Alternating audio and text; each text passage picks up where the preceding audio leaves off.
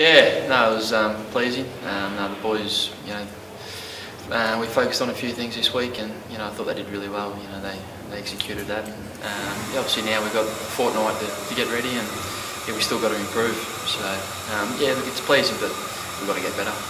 Yeah, anyone stand out in your team? Uh, I feel, oh, there's a lot of even contributors. Um, you know, you know, being out there, I thought Louis Holmer was great. You know, he's his first game really, you know, taking charge in the ruck there with Al being out. So, you know, there was, there was numerous players that, you know, really stood up. You know, it was great to have Jay Lockhart back, you know, Tyrone Mansell.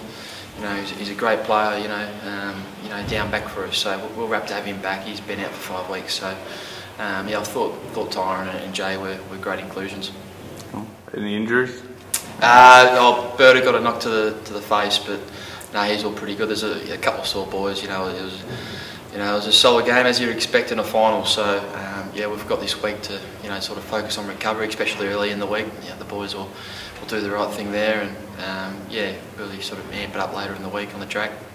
Yeah, it was a, uh, it was very disappointing. Uh, we didn't um, certainly didn't give a yelp, and um, it was really hard to uh, find any winners on the ground. So um, we certainly didn't um, come up to dish that out. Uh, so the North Launceston ran over us um, pretty much from the start to the, the end, so we were pretty reactive to what they were doing. Um, so we'll uh, we'll go back to the drawing board. We've we've had a really good season, and um, we'll use the double chance which the players have earned. So um, we'll, we'll, pick ourselves up, and um, after we do the review on uh, tomorrow morning. So we've called the players in for a, a nine o'clock start to do, do, the review, and then um, by the time Monday comes, we'll we'll be ready to go for the Launceston game, so um, we'll, we'll, move on pretty quick and um, pick ourselves up and dust ourselves off.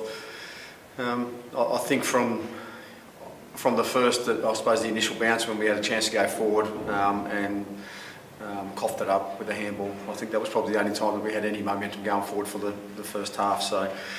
Uh, we, we just need to get better and more efficient. We turned the ball over um, majority of the time, um, which we haven't done, and our ball use was um, really poor. Um, they had a lot of contributors and, and, probably outworked us throughout the game. So we, we need to get, just to address a few things um, and fix a few things up. Um, the, the, Clarence game was uh, like a, a, big big deal to the club. You know, we, we first final that we've won, um, so we sometimes we come back from that um, a little bit flat because we put so much effort into those games. So um, you know, hopefully the boys can re respond really quickly and and get over it. So um, the plan moving forward will be um, by Monday morning we'll be focusing on Launceston and have a good account for ourselves and hopefully get another chance at North Launceston.